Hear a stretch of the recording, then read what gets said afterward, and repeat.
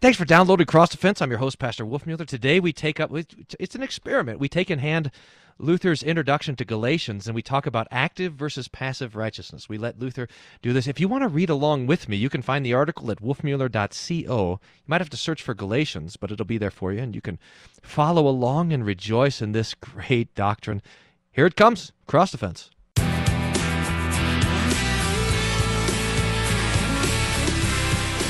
Hey, welcome to Cross Defense. Ooh, ooh, Cross Defense. I'm your host, Pastor Bryan Wolfmueller, pastor of Hope Lutheran Church in Aurora, Colorado. And I'm going to try something new today. Thanks for tuning in, by the way. Every week we, we want to engage in this great gift of theology for the sake of, well, fighting against the devil. Theology is spiritual warfare. I don't know if you should think about that a little bit, maybe. Theology is that the, devil, remember how it went in the Garden of Eden when the devil came to tempt Adam and Eve and said, Did the Lord really say? It was a theological conversation that caused all the trouble. When Adam and Eve got their theology from the devil and not from God, and, and and things went awry, but it's when the Lord Jesus comes back as the chief theologian, as the chief doctor of the church, who comes back to heal first our doctrine, our faith, our hearts, and then also our lives and give us life eternal. So when we engage in theology, we're fighting back against the devil. In fact, this is, you know, the one thing that the Bible tells us to beware of over and over in the New Testament, whenever you see the words beware, it's being aware of false doctrine. Can you imagine it? I mean, it's not the Lord doesn't even take the time to say, "Beware of." Of sharks with lasers or whatever, or, or sort of stuff that we would normally think to beware of.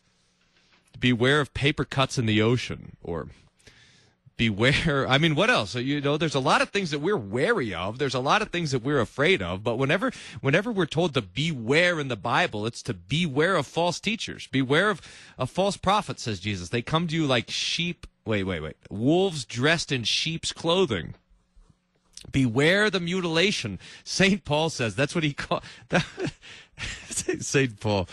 man, it'll be good to spend some time with him in the resurrection. The, the mutilation is what he called the Judaizers because because he was coming over. They they were all coming around and saying, "Hey, uh, uh, Paul, you got to be circumcised if you want to be a Christian." In fact, these Judaizers they were they were tra- they were following Paul wherever Paul went. Then the Judaizers would come around afterwards and they'd say, "Oh yeah, Paul was.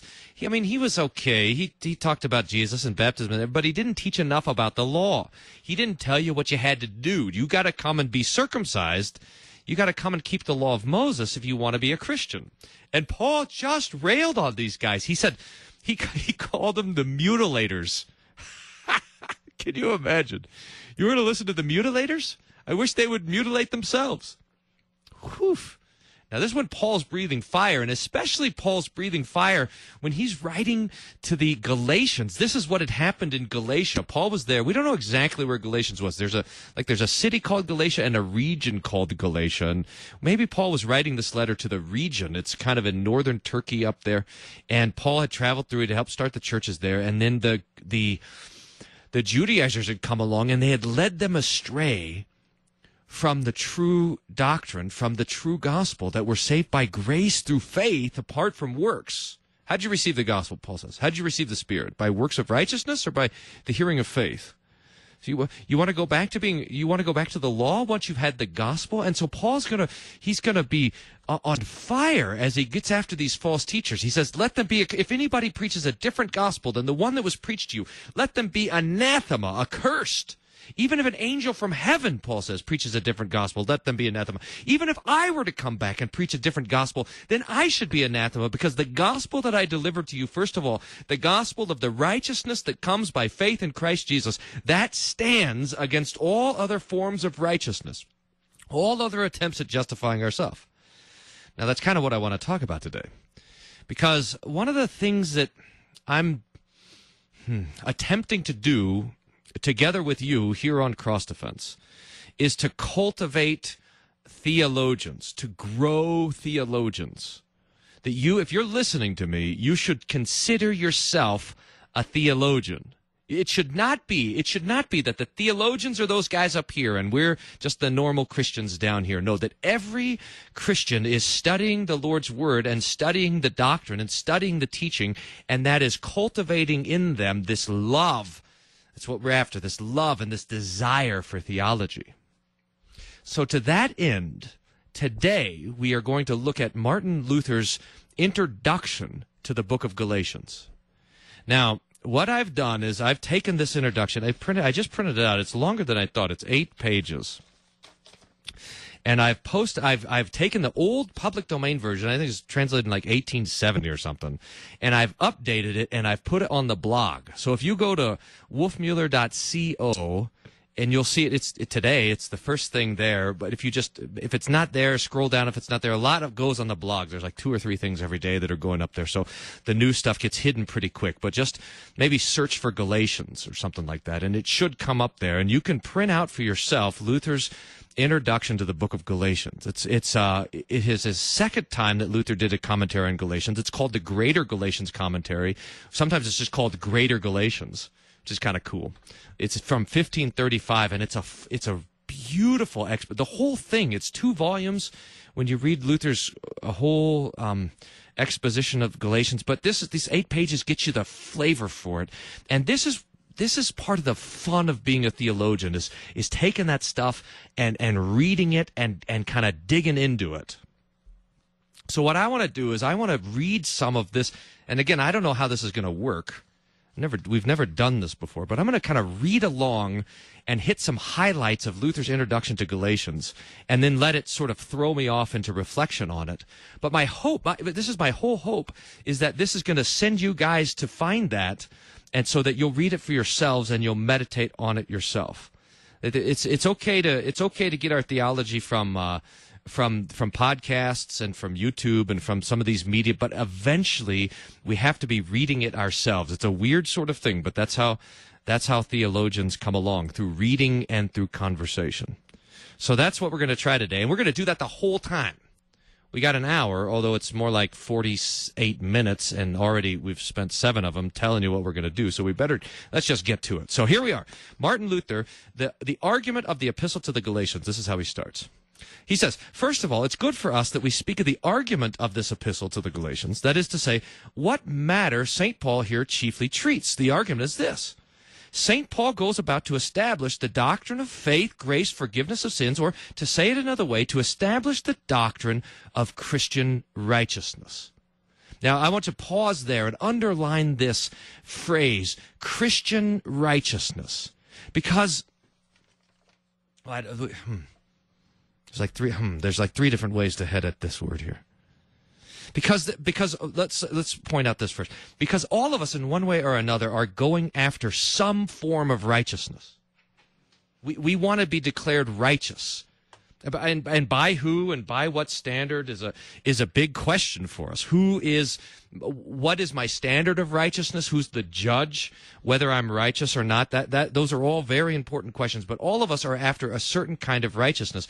But but but what Luther is saying is that Paul is is teaching us a specific kind of righteousness that is a Christian righteousness.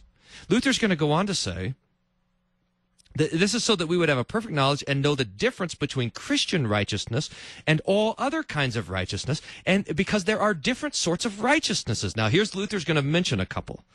There's a political righteousness or a civil righteousness by which emperors, princes of the world, philosophers, and lawyers deal with, so that there's a way of being right politically. Luther continues, there's a ceremonial righteousness which the traditions of men teach. This, this kind of righteousness parents and schoolmasters teach, and they do it without any danger because they don't attribute to this kind of righteousness the power to make satisfactions for sin or to placate God or to deserve grace. You teach, you know, for example, you teach the kids to say please and thank you. Now, what kind, that's a sort of ceremonial righteousness that we want to teach the kids. And it's important. It's, it's part of civilization. But we don't say that you become right by God by teaching this kind of righteousness. Luther goes on to say, besides this, there's another kind of righteousness called the righteousness of the law or the Ten Commandments. And this is what Moses teaches. And we also teach it, says Luther, after the doctrine of faith.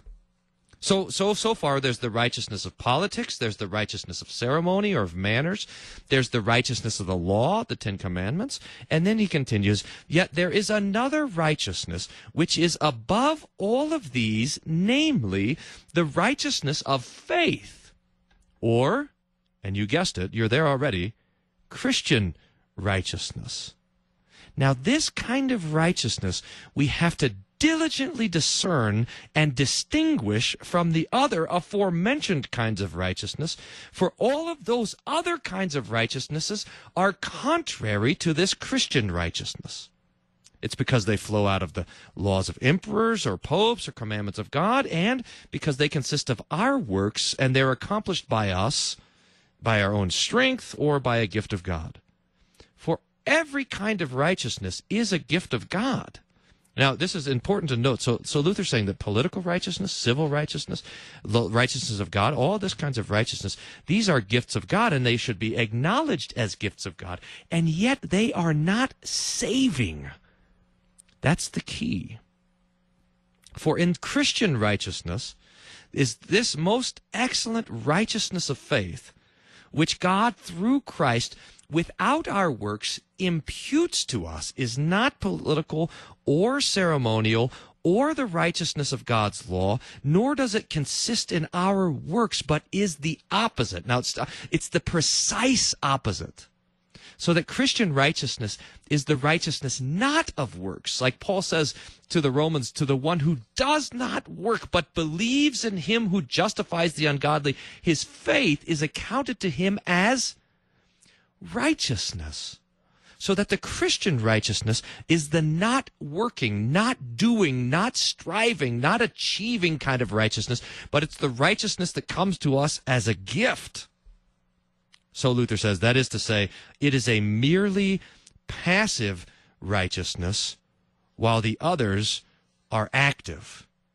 I'm going to come back to that language, but listen to this paragraph. For in this Christian righteousness, we work nothing, we render nothing to God, we only receive and suffer another to work in us. Now, suffering for us means like to hurt. But suffer here, I, I, there's not another word for it, so I kept the old English just because I can't do better. Like the best we can do is receive, but that has this idea of even we're involved in it. But it is to suffer means to sort of to be acted upon, to be the object of the action. So it says, in the Christian righteousness, we render nothing to God, but we receive and we suffer another to work in us. That is, God works in us. So Luther says, it seems good to me to call this righteousness of faith or Christian righteousness the passive righteousness. Now we're introduced to this language of the active righteousness of God and the passive righteousness of, uh, uh, or the active righteousness of the Christian and the passive righteousness of the Christian. Active righteousness means that I'm doing something. I'm acting. I'm, I'm, I'm, my will is, is being uh, exercised. I, so I'm loving, or I'm serving, or I'm dying, or I'm speaking, or I'm blessing, or I'm building, or I'm carrying, or I'm withdrawing, or I'm coming to to bless and all this sort of stuff. So that so the active righteousness is what I'm doing, but passive righteousness is what God is giving to me. And this uh, says Luther is going to be the key distinction. The, there are these different kinds of righteousnesses, but it really comes down to these two. There is the active righteousness, which is coming from me. I am the one who's who is working toward the outside. And the passive righteousness is the righteousness that comes to me, and I am the one being worked on. I'm the one that's suffering. I'm the one that's received. I'm the object of the Lord's work. And salvation comes to us passively. It's the righteousness that starts outside of us. In another place, Luther will call this the alien righteousness of God. Not because it's like in the planets up there, you know, like, like like it's some sort of crash in Roswell, New Mexico, or something. It's not the, the alien means external righteousness. It's not. It doesn't belong to me. It belongs to Jesus, and Jesus comes down and he gives it to me. He he, he this is the the biblical language. He imputes it to my account so that I am reckoned or considered or declared to be righteous by God. It's really quite stunning. It's amazing. Now, Luther goes on to say that, and this is tough, and this is why theology is tough.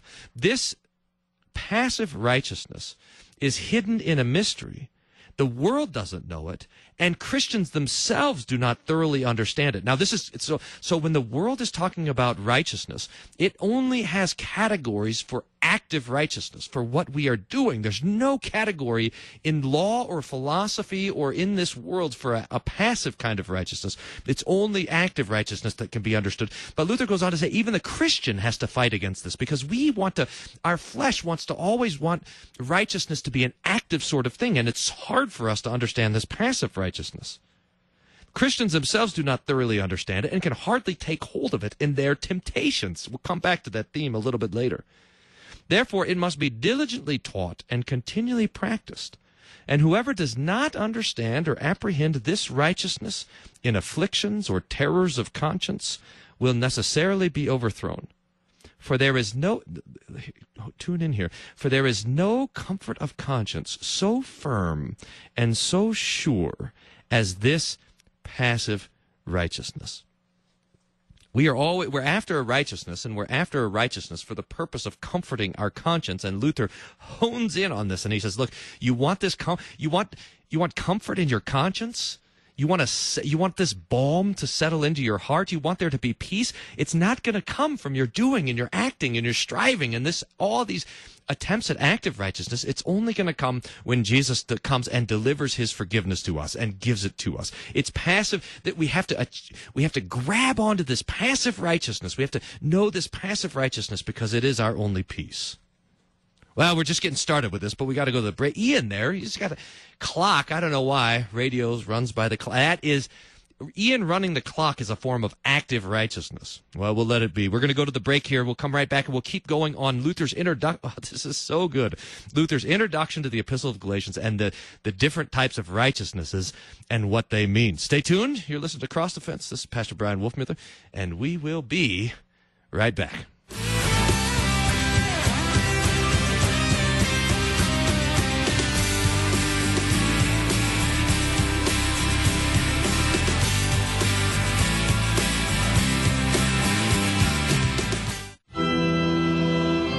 This is the day which the Lord has made.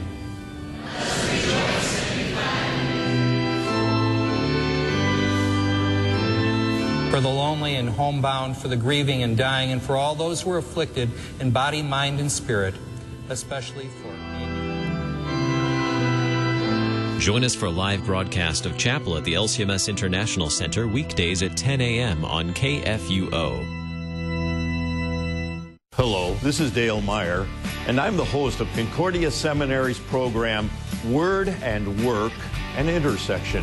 It airs weekly on Thursday afternoons at 2 o'clock Central Time, right here on KFUO. Together, we'll discover how the Word of God applies to daily life as we go about our various vocations. Be sure to tune in each week for an interesting discussion taking place at the intersection of Word and Work.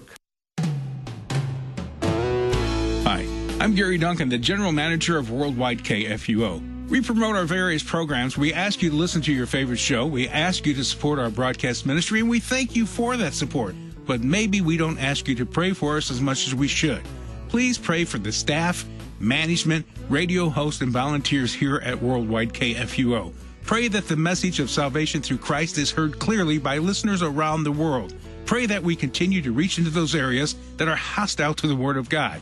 Pray that KFUO continues to reach those people desperately needing to hear the good news message. And pray that God continues to bless us financially through the gifts we need to continue our broadcast ministry. Thank you for listening, supporting, and praying for Worldwide KFUO. You truly are appreciated. We are the messenger of good news, AM 850 in St. Louis, worldwide at kfuo.org.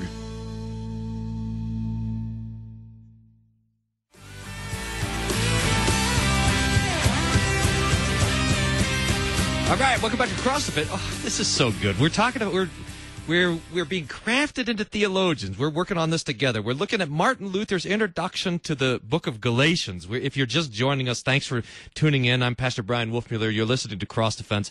More theology, by the way, and I'd love to get your feedback on this. I, I really appreciate all the feedback you guys have, positive and negative, things we could do. This is a bit of an experiment. I'm just working through this Luther thing, talking about it, because I think this is how we become theologians when we go and we read theology. We want to be digging into the scriptures and we want to be digging into biblical theologians, Martin Luther being the chief theologian of the church. You can find this, by the way, his introduction to Galatians at the website wolfmueller.co.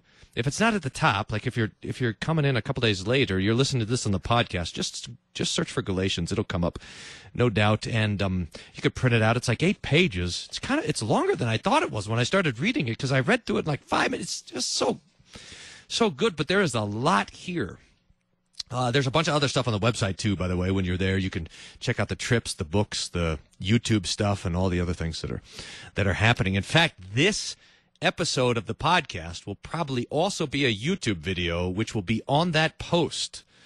So you'll be in the. It'll be like the theological matrix. You won't know. You don't know where you're coming or going. Or anyway, we're talking about how Luther is. Uh, he ta- he he comes down to the fact that while the active right there's two types of there's active righteousness that's what we're doing and there's a passive righteousness of Christ which we receive by faith and the active righteousness governs the world and the flesh and the body but the passive righteousness is what's going on in the conscience. And Luther comes back as he I almost said always as he almost always does or as he very often does Luther comes back to the conscience. I remember one time I'll tell you guys a story I was on vicar when when a pastor uh, is trained to be a pastor in the Lutheran Church Missouri Synod. One of the things that happens is you go to school for two years, then you go on a vicarage for a year, and then you go then you go back to school for a year, and then you get your call. And when I was I was on my vicarage, and and my pastor, uh, my supervisor there, would always bust my chops. He'd he'd take my sermons and just tear them to shreds. That's what he's supposed to do. And um and I remember one of the things he said was, uh, "Your sermons need to be more practical." And uh, and I got all worked up about it, and wrongly so, by the way. And so I wanted to sort of prove what a what a great theologian I was by then, you know. so I went back to my little office and I started writing a a newsletter article. And the newsletter article was titled "The Gospel Isn't Practical." oh man, I'm confessing my sins to you guys here, telling you this story.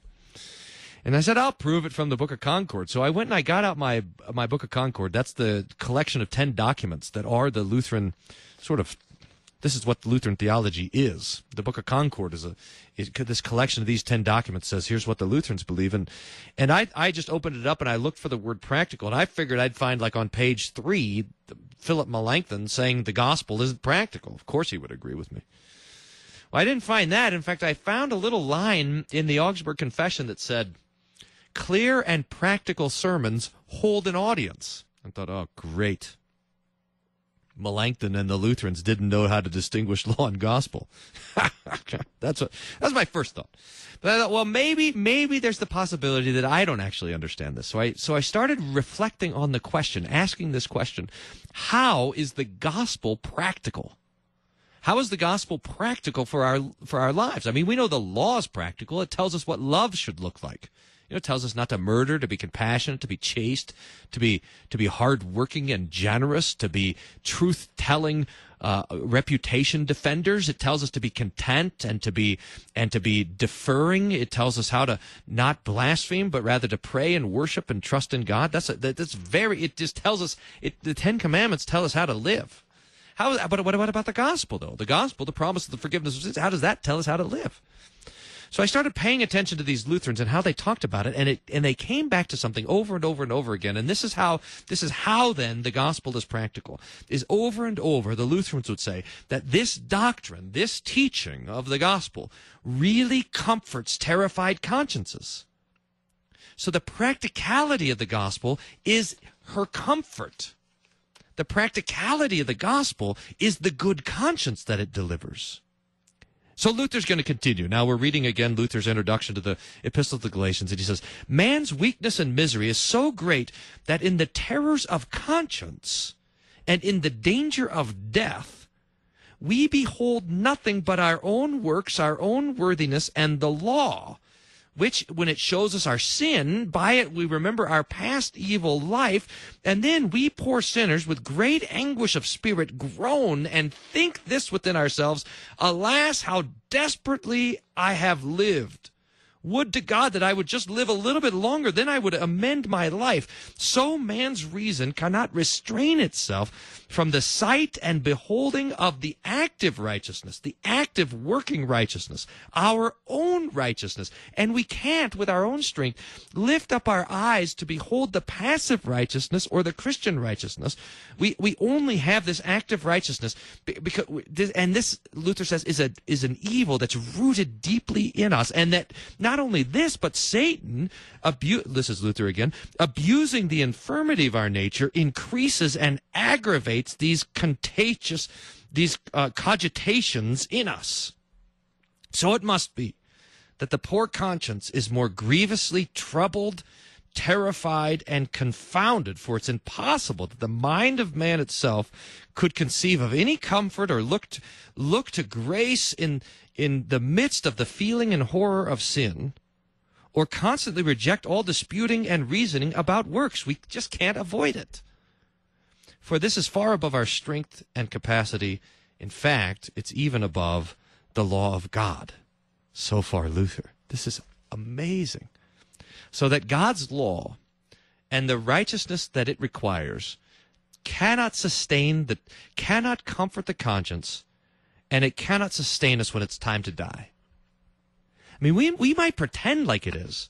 We did this, and if you're if you if you watch the YouTube channel, we'd have a show called the Sunday Drive Home, in which I drive home on Sunday and reflect on the on the on the text a little bit. And we had this reflection yesterday is that there's these two kinds of righteousness. There's a self there's two kinds of justification, self-justification or justification by Christ. It has to do with these two types of righteousness, our works or the work of Christ to save us. And our flesh is simply addicted to our own works and our own righteousness, but it cannot our own righteousness doesn't stand up. It can't comfort our conscience and it can't make a sufficient argument when it's time to die. It just it, it falls short. Now we can pretend like we can. We can, and this is the game that most people are playing. That we we all are in one way or another are playing. We're trying to sort of argue for our own worth and our own righteousness and our own whatever. But eventually it falls short. It falls short in the conscience and it falls short on judgment day. Now, now, Luther wants to make sure that we do not despise the law, the Ten Commandments, or this act of righteousness. He, Luther, when Luther says that active righteousness can't stand up on the judgment day and it can't stand up in the conscience, he's not saying it has no purpose at all. In fact, he's going to go on to make the point that the that the work of theology is to make sure that the law, that is the Ten Commandments, stay in their proper place. That is, they tell us how we're supposed to live. Here, here's how Luther says it. It's true that of all things in the world, the law is most excellent. Now, that, that, again, we want to hear that again because sometimes we fall off the horse on on both sides, and this is going to keep us on the horse on the middle. It's true. Luther says it's true that of all things in the world, the law is the most excellent. Yet, it is not able to quiet a troubled conscience. Rather, the law increases terrors and it drives the conscience to desperation. Because by the commandment, sin is made exceedingly sinful. Romans 7 13. Therefore, the afflicted, I'm, I'm reading some more Luther here. Therefore, the afflicted and troubled conscience has no remedy against the desperation and eternal death unless it takes hold of the promise of grace freely offered in Christ. That is to say, this passive righteousness of faith or this Christian righteousness. This is the only hope for an afflicted conscience, for a troubled conscience. Now, just pause there and say, hey, look, I'm listening to you, uh, Pastor Wolfmueller. I'm listening here to Cross Defense on the radio, or I'm downloaded the podcast, and I have a troubled conscience. I'm bothered by my sin. I know I don't do the right things all the time or hardly ever. That the law accuses me that Mo- if Moses stands here and he's got this 10 part checklist and he can't check any one of them. I, I'm always fearing other stuff than God. I'm always using God's name in vain. I'm always angry and lustful and greedy and lazy and lying. I'm just, I'm just, the commandments, and I can't find it. And I try. I get up every day. I want to do my good deed. I want to help the people, old ladies across the street or whatever. I don't know why that's the deed I thought of, but I gotta, you know, I want to, but it doesn't work. I can never make myself. I, I try to be a good person, but I know deep down I'm not. And you are right. You and I are not good. Jesus says, call no one good but God. All have sinned and fall short of the glory of God. And the only, this is what I'm telling you. This is what we're talking about. This is what Galatians is about. This is what this Luther preface is about. The only hope for you, for comfort in your, con- to settle your conscience, to silence the accusation that's happening in your heart against you right now is to hear that Jesus has died for your sins. That Jesus has suffered in your place, that Jesus has kept the law in your place, and that he gives to you his righteousness. That is this Christian right, this imputed righteousness. It's absolutely stunning. And this is our only hope. This passive righteousness of faith. That we trust what Jesus says, that our sins are forgiven, and that he's our Savior. Now, th- this is what we, we have to apprehend. Here's, I'll go back to Luther here. If we can apprehend this Christian righteousness, then may our heart and conscience be quiet. And we boldly say, listen to this. This is the, oh, this is great. This, Luther loves to do this, by the way. Just put words in the mouth of the conscience or whatever. In fact, in a few pages, he's going to have this conversation between us and the law. It's fantastic. But here's what I'm saying: is that uh, this is how we confess this Christian righteousness. I seek not the active or working righteousness, although I know that I ought to have it and that I ought to fulfill the law. But be it so that I, even if I did had it, have it, and I did fulfill it. Yet, not sta- notwithstanding, I cannot trust in it. Ne- neither do I dare to set my own act of righteousness against the judgment of God. So I abandon myself from all active righteousness, both of my own act of righteousness and the righteousness of God's law, and I embrace only that passive righteousness, which is the righteousness of grace and mercy and the forgiveness of sins. Briefly, I rest only upon the righteousness of Christ and the Holy Ghost, in which I do not, but suffer.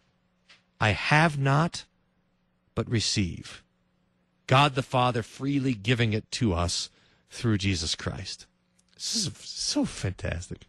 So I so I have to to embrace, and here's the picture: to embrace the um, the, the, the, the passive righteousness of Jesus, I have to let go my own righteousness.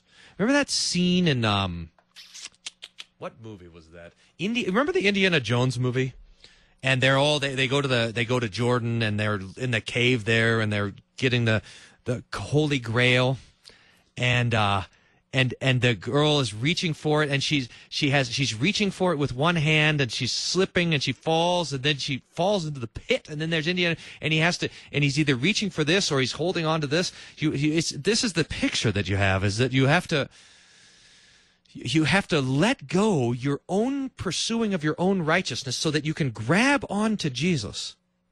It's that old trick that we used to play you know when someone was when someone was maybe when I say we used to play this trick, maybe I should just say I used to play this trick. Maybe you did not have brothers in which you do this, but if your brother was was holding something and you throw them a ball, and they have to make this decision. Either they drop what they're holding and catch the ball, or else they hold what they and they and the ball hits them in the face. Now I feel funny because maybe you guys didn't do that to your brothers. Anyway, that's the game. That's what's happening here. Here's the righteousness of Jesus, and, and are, so are which are you? You cannot have both. You cannot hold on to your own righteousness and then also have the righteousness of Christ. They are they exclude one another. So you so you you have to either hold on to your own righteousness, to your own to your own keeping of God's law, to your own doing and striving, or you have to let it go and and and grab onto Christ. Th- this is why, by the way, the when we go into church, the very first thing we do in church is we say, "I'm a poor, miserable sinner." It's like saying all this this big game of being holy and righteous and all this other. I'm just throwing it down on the ground. I'm giving it up. I'm abandoning hope in myself. I'm not. I'm I'm not going to trust in my own works and my own doing to stand before God on the day of judgment. I've just I, I have only Christ. Luther's going to give an illustration. It's great. It says, like the earth doesn't cause it to rain, nor does it rain by the strength of the earth and the labor and strength and travail of the earth to procure rain, but rather receives the rain as a mere gift of God from above, so the heavenly righteousness is given to us of God without our works or merit. So it's just like the earth doesn't do anything to squeeze the rain out of the clouds. So we don't do anything to squeeze this righteousness out of God and cause it to come down from heaven. No, it just comes. And the, just like the earth comes, the rain comes down to the earth and the earth just ab- absorbs it. So the righteousness, the heavenly righteousness comes down to us and we have it. As much, therefore, as the earth itself is able to do in getting and procuring to itself seasonable showers of rain to make it fruitful, even so much are we men able to do by our strength and works in winning this heavenly and eternal righteousness. Namely, we get we, we got nothing. Therefore, we shall never be able to attain to it unless God Himself, by mere imputation and by His unspeakable gifts, bestows it on us. We are the dirt upon which the heavenly kindness of God, the blood of Jesus, reigns. And all we do is sit there and receive it. Whew. Luther goes on then to say, the greatest knowledge then, and the greatest wisdom of Christians is to not know the law, but to be ignorant of works and the whole active righteousness, especially when the conscience wrestles with the judgment of God. Just like, on the contrary, the wisest among those who are not Christians are those who know how to urge the law, works, and active righteousness. So the earthly, the height of earthly wisdom is to know the law of God and the commands of God. The height of Christian wisdom is to not know the law, but rather to know Christ. You're listening to Cross Defense, and we're talking. Oh, this is this is the best.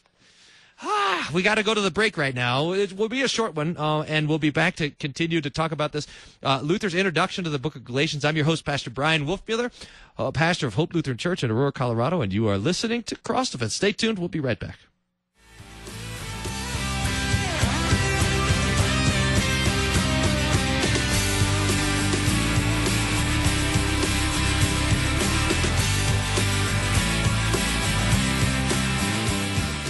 Hi, this is Bart Day, President and CEO of Lutheran Church Extension Fund. Every day, our Lutheran schools reach out to children and families with the love of Jesus. Our schools are a rich and vital component of the church, and in fact, they are the single greatest ministry we share that can shape the future growth and expansion of the Synod. And so, whether it's a customized loan to fit your school's particular needs or help living out your ministry's God given purpose, we want to help your ministry flourish and grow. So, visit us at lcef.org to learn learn more. Proverbs 27:17 tells us, "Iron sharpens iron, and one man sharpens another." That's why weekday mornings at 8 a.m., two Missouri Synod pastors test their mettle against the Holy Scriptures, certain that not only will they come out better for it, but so will you. The sword of the Spirit is sharp to the touch, but you need practice wielding it. Check out Sharper Iron, 8 a.m. every weekday on Worldwide KFUO. Throughout the Middle Ages, the aristocracy engaged with the Bible through elegant devotionals known as Book of Hours, spelled H O U R S. The Bohun Book of Hours and Psalter features the crests of three noble families, corresponding to the life story of Elizabeth de Bohun, Countess of Northampton. Richly illuminated and featuring expert calligraphy, the manuscript and its elaborate ornamentation exemplifies only the Countess's later life. As a child, her father was executed, and she was imprisoned for a time in the Tower of London. After being widowed, it was to be William de Bohun, her second husband, with whom she commissioned the Psalter portion of the manuscript. Centuries later, that same Book of Hours was put on display in New York City to raise money for the pedestal for the Statue of Liberty. Engage with the Bible, the book of books. Brought to you by Museum of the Bible in Washington, D.C. That's I'm your host, Pastor Bryan Wolfmueller. I'm not messing around because we got a lot to do. We don't have much time to do it. We are just like three pages into this Martin Luther's introduction to the book of Galatians. This is an experiment, by the way. Let me know what you think. I'm We're talking about theology and letting this enliven us. We're Luther's talking about, and uh, so, oh yeah, this. Uh, you can read this this Luther's introduction to Galatians 1535. I've I've kind of taken an old public domain version and cleaned it up a little bit and put it on the blog wolfmueller.co should be the first thing there, but there's a lot coming onto the blog, like two or three things a day. So you might have to just hit the search bar and hit Galatians, and it should come up, and you can read it yourself. Because I'm going to skip some paragraphs. The main idea so far is we have the active righteousness and the passive righteousness. Active righteousness is our keeping the law, our doing. Passive righteousness is the gift of Christ's own death and resurrection, His perfect righteousness in our place. And Luther says the highest of earthly wisdom is to know the law. The highest of Christian wisdom is to not know the law. And he said, This confounds the world. He goes on for a few paragraphs about how it confounds it. And how do we belong to each? We belong to the wisdom of active righteousness according to the flesh, and we belong to the wisdom of passive righteousness according to the spirit. And, and then he goes on. So again, I'm skipping. You, I can't, I can't not skip. We just don't have time. But you guys got to read this yourself. You'll, you will thank me, by the way. Uh, if you read this whole thing, you'll say, Thank you, Pastor Wolfmueller, for telling me to read this thing because it blew my mind and it changed my theology changes the world, folks. Anyway, if you want to thank me, wolfmueller.co slash contact. Or if you want to not thank me, if you want to send abusive emails, that's also the place to do it. That's fine. Luther continues. You with me, guys? You guys with me? Here he goes. This is our theology. We teach how to put a difference between these two kinds of righteousnesses, active and passive, to the end that manners and faith, works and grace, policy and religion should not be confounded or taken the one for the other. Now, both are necessary, but both must be kept within their bounds. Christian righteousness pertains to the new man, and the righteousness of the law pertains to the old man, which is born of flesh and blood. Upon this old man, that is our old Adam, our sinful nature, as upon a donkey. Luther doesn't use the word donkey, by the way. I'm just FCCing it over here. Upon this old man, as upon a donkey, there must be laid a burden that may press him down, and he must not enjoy the freedom of the Spirit or grace, except he first put on him the new man by faith in Christ, which is nevertheless not fully done in this life then he may enjoy the kingdom and the unspeakable gift of God. We could write a book on that paragraph. This is fantastic. So Luther says, look, you can't, the old man, our life in this world as we live it and, and in all our vocations and everything, it's just law, all law. In fact, now think about this. The Bible talks to you and to me according to our vocations only in law. In, in other words, whenever the Bible addresses me as a pastor, it only has commands. That's it. It's all law. Whenever the Bible talks to me as a father and as a husband, it's all law. There's no, hey, if you are, become a father, your sins will be forgiven. No. It, when the Bible talks about me as a citizen, it's all law. And for every vocation, this is how it is. As a, as a preacher or as a hearer, as a, uh, as a citizen or as a ruler, as a father and a mother or as a child. It's all law. There is only one gospel, and it's addressed to us as sinners, as Christians, as baptized. So that the pastor and, and the and the father have the same forgiveness as the parishioner and the mother. In other words, there's no distinction. There's one gospel that comes to every single person. But when the Bible is telling me how I ought to live with my neighbor, it is it's all law. I can be gracious to them, but it's not the for, I, I go and forgive their sins, but it's it's not the salvation kind of forgiveness. It's the sort of mercy of living together as neighbors.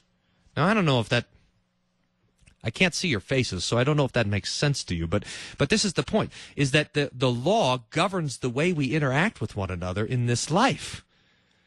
And there's no gospel at all until I come to, to be a Christian, until I'm baptized, until I have faith in Jesus. Uh, Luther continues, I say this to the end that no man should think that we reject or we forbid good works, as the papists most falsely slander us, neither understanding what they themselves say nor what we teach. They know nothing about, they know nothing but the righteousness of the law, and yet they will judge that doctrine which is far above the law, which is impossible that a carnal man should judge. Therefore they must of necessity be offended, for they can see no higher than the law.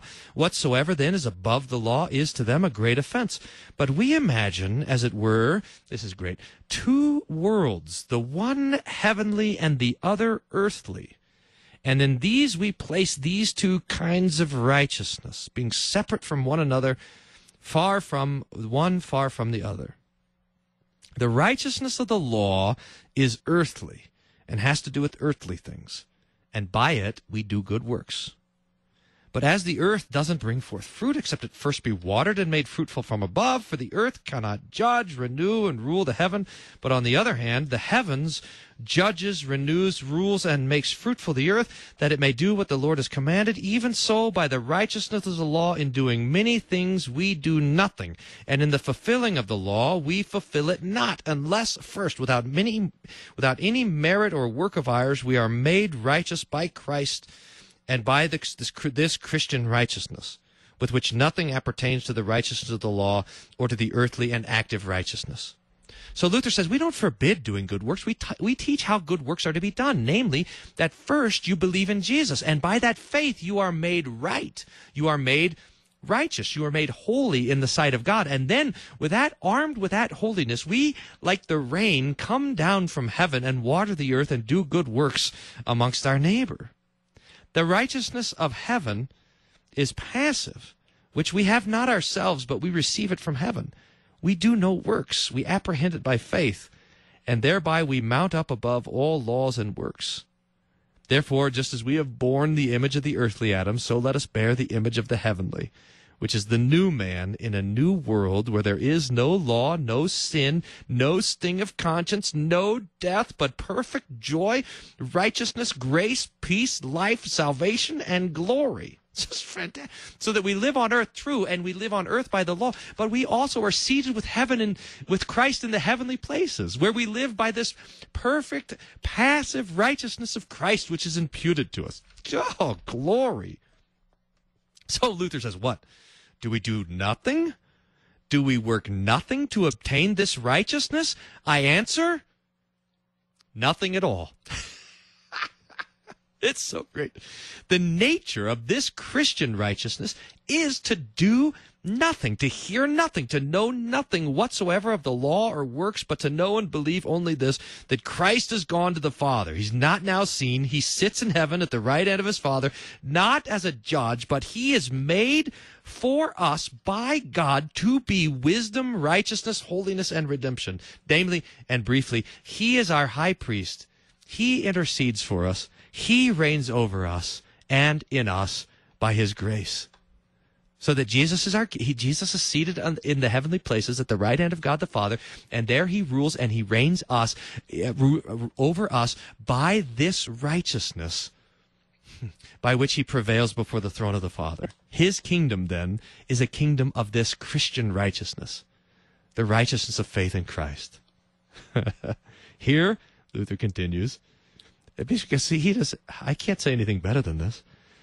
Here, no sin is perceived no terror or remorse, remorse of conscience, conscience. Let's try again. Here, no sin is perceived, no terror or remorse of conscience is felt. For in this heavenly righteousness, sin can have no place. There is no law, and where there is no law, there can be no transgression. Seeing, Luther continues, then that sin has no place here, there can be no anguish of conscience, no fear, no heaviness, St. John says, He that's born of God can't sin. But if there is any fear or grief of conscience, it's a token that this righteousness has been withdrawn, that grace is hidden, that Christ is darkened and out of sight. For where Christ is truly seen indeed, there must of necessity be full and perfect joy in the Lord with peace of conscience which most certainly thinks, although I'm a sinner by the law, as touching the righteousness of the law, yet I should not despair. I should not die because Christ lives, who is my righteousness and my everlasting and heavenly life. In that righteousness and life, I have no sin. I have no sting of conscience. I have no care of death. Indeed, I'm a sinner touching this present life and the righteousness thereof as a child of Adam, where the law accuses me and death reigns over me and at length it would devour me. But I have another righteousness and life above this life, which is Christ the Son of God, who knows no sin and no death. He's righteous, and he has life altogether and eternal, by whom even this my body, even though it dies and is brought to the dust, shall be raised up again and delivered from the bondage of law and sin, and shall be sanctified together with the Spirit. Do you see? So that I have that this act of righteousness, by faith in Christ, I, I I ascend to where Jesus is, and I'm seated there with Him, I, where, where the forgiveness of sins is, where He is righteous and holy altogether, and I'm there with Him. Hmm. Now Luther says both these things continue while we live. We, we have both active righteousness and passive righteousness are both working in us all the time. The flesh is accused and it's exercised with temptation. It's oppressed with heaviness and sorrow. It's bruised by the active righteousness of the law. But the spirit, our heart, our conscience, it reigns, rejoices, and is saved by this passive and Christian righteousness because it knows that it has a Lord in heaven at the right hand of the Father who's abolished the law, sin, death, and has trodden under his feet all evils, led them captive, and triumphed over them in himself. So the faith is saying, I belong to Jesus. He is my he is my king and I belong to his kingdom and all the things that belong to his kingdom. Triumph over sin and the devil, the righteousness and holiness and the Holy Spirit. All of these things belong to me, not because I've earned them or deserved them, but because I belong to Jesus. I I live under him in his kingdom. And when I live under him, all the things of the kingdom are his. Ian, I'm, I, am i am sighing because Ian sent me the note that we have three minutes. I can't believe it. Dear friends, we're on page, we're on page four. We're on page six of eight. We've barely gotten started. Hmm. All right, one more, one more paragraph from Luther, and then we'll kind of wrap this thing up.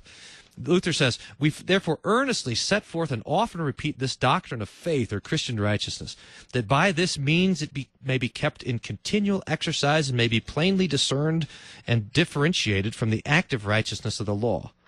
For on this only is on this doctrine only the church is built, and in this doctrine it consists. Otherwise, we'll never be able to hold the true theology, but by it we shall become theological legalists and Christ will be darkened, and none in the church will be taught and comforted. I admonish you, Luther continues, you who would become instructors and guiders of conscience, and so every one of you, that you would exercise yourselves continually by study, by reading, by meditation on the word and prayer, that in time of temptation you may be able to instruct and comfort both your own conscience and others, and bring it from law to grace, from active and working righteousness to passive and received righteousness, and to conclude from Moses to Christ. That's the way that we go in theology. Philosophy and earthly wisdom teaches us an active righteousness, a keeping of the law, a giving of our life to serve our neighbor, but the passive righteousness teaches us about Jesus. His death in our place, his keeping the law for us, his dying so that we might live, his suffering so that we might rejoice, his bearing our sins so that we might be uh, regaled, that we might be imputed, that we might be dressed with his own righteousness. Dear friends, this is what we're after. This active righteousness. This, this, this passive righteousness. this righteousness of Jesus, this perfection that's brought to us not by our own works or by our own doing, but by trusting in the promise. And when you trust that promise, you have it. You have Christ and his name and his kingdom and everything that belongs to him. It's yours and you are his and he is God's and life eternal awaits us. So God be praised. God be praised for the passive righteousness which is delivered to us by Jesus. God be praised for the theologians that bring it to us. Hey, thanks for listening to Cross Defense. I encourage you to find that article at wolfmueller.co and read it for your, rejoice. Again, you'll thank me. Make sure to tune in next week where we ignite your theological imagination with the joy and confidence of the Lord's Word. God's peace be with you.